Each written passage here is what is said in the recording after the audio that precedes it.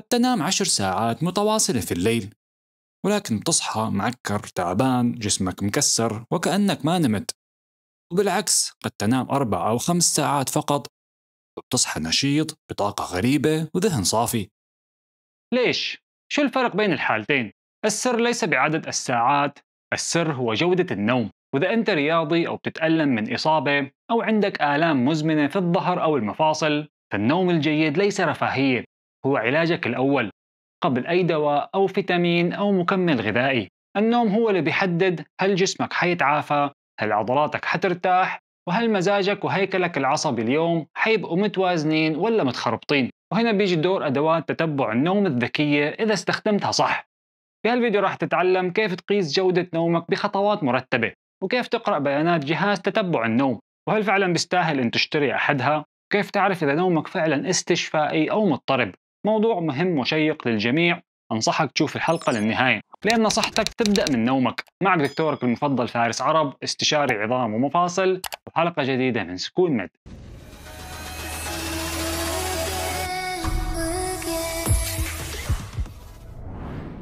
النوم ليس مجرد يلا اجى الليل لازم نصحى عنا شغل الصبح. لا النوم هو ورشة ترميم لجسمك بشفت ليلي. هو عملية بيولوجية مرتبة بدقة إلهية.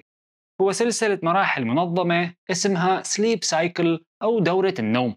تتكرر كل 90 دقيقة تقريبا ولازم تسمح لجسمك يمر بكل مراحلها بتوازن عشان يستفيد فعلا من النوم. لما بدك تبدأ تطور من جودة نومك فأول خطوة هي أن تفهم دورة النوم. لما بتحط راسك لتنام أول مرحلة بتمر فيها هي النعاس وهي بداية الانتقال من الوعي إلى النوم.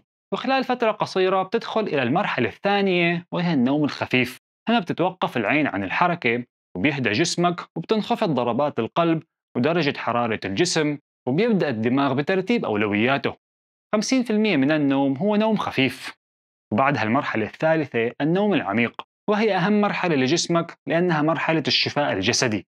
يتم فيها إفراز الجروث هرمون أو هرمون النمو المسؤول عن ترميم العضلات وتجديد الخلايا والتئام الجروح وتقوية العظام والغضاريف. ومدتها 14 إلى 23 دقيقة فقط في الدورة الواحدة. وبعدها بتدخل المرحلة الرابعة وهي مرحلة حركة العين السريعة أو ريم سليب. هذه المرحلة ضرورية للصحة النفسية والتوازن العاطفي وتقوية الذاكرة. وهنا بتحدث الأحلام سواء تذكرتها أو نسيتها. مدة هالمرحلة 18 إلى 22 دقيقة فقط في الدورة الواحدة. كل 90 دقيقة تقريبا يجب أن تدور بين هذه المراحل. يعني ممكن تمر بأربع إلى ست دورات نوم حسب العوامل البيئية والنفسية اللي بتنام فيها. وإذا علقت بمرحلة واحدة أو ما عبرت بكل دورة بشكل سليم حيضطرب نومك وحتصحى تعبان حتى لو نمت اليوم بطوله. وهنا يأتي أهمية أجهزة ال sleep trackers أو أدوات تتبع النوم مثل لبس الساعات أو الخواتم الذكية أو أحزمة الصدر المتطورة أثناء النوم. كيف تساعدنا أدوات تتبع النوم؟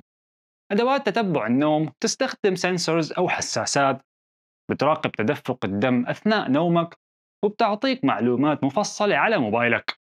وبدقة تصل ل 80 إلى 90% مقارنة باختبار النوم داخل المختبر المعروف باسم بوليسومنوغرافي وبالمناسبة كثير منكم تسألوني دائما ليش لابس خواتم غريبة بأصابعي؟ ببساطة هذه خواتم ذكية بتقيس النوم والنشاط الحيوي بالليل والنهار. وظليت جربها لفترة طويلة لحتى قدرت أصور لكم هالحلقة. هذه الأجهزة الذكية بتعطيك معلومات مهمة يمكنك الاعتماد عليها. فمثلا بتراقب مدة نومك الفعلية. كم ساعة نمت؟ مقارنة بكم ساعة قضيتها في السرير وأنت عم تفكر. وهل نومك ثابت كل يوم؟ وبتتبع مرورك بجميع مراحل النوم وتحليل عدد الدورات وفترة كل دورة.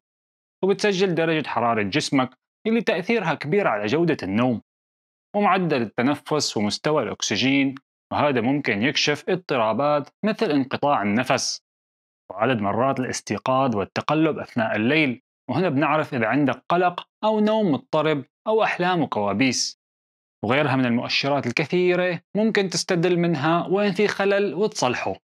ولكن الأهم من كل هذا أنها تقوم بتحليل معدل تقلب ضربات القلب Heart Rate Variability أو HRV ماذا يعني معدل تقلب ضربات القلب أو ال HRV؟